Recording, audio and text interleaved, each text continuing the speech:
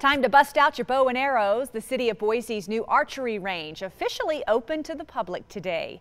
The 10 lane range offers people different looks and angles for everyone from beginners to experts. We caught up with one of the people who showed up for the range's opening day. He says his friends got him into archery after they invited him on a hunting trip.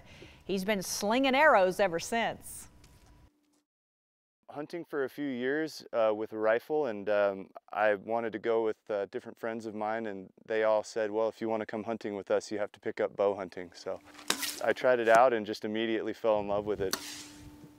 He also talked about how much cheaper bow hunting is since you can use arrows multiple times. If you're interested, the range is free. It's located on the Military Reserve east of Boise.